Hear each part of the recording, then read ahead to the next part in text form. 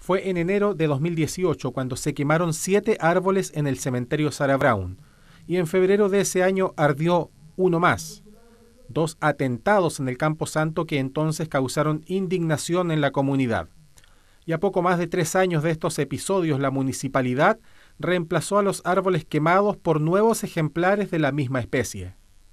Y hemos logrado eh, reponer siete cipreses que estamos en este trabajo en este minuto y pueden ver al lado de los cipreses los restos de lo que quedó del, siniestro. Eh, hemos estado asesorados por nuestro grupo de áreas verdes a través de una paisajista, ¿cierto? Que ha podido apoyar toda la parte técnica de esto para que los árboles, eh, al estar ¿cierto? ya enterrados, puedan tener los cuidados que corresponden para que no los perdamos. Se informó que actualmente hay 632 cipreses en el cementerio municipal de Punta Arenas y que está en elaboración un plan de trabajo para ir reponiendo los árboles de mayor edad, algunos más que centenarios.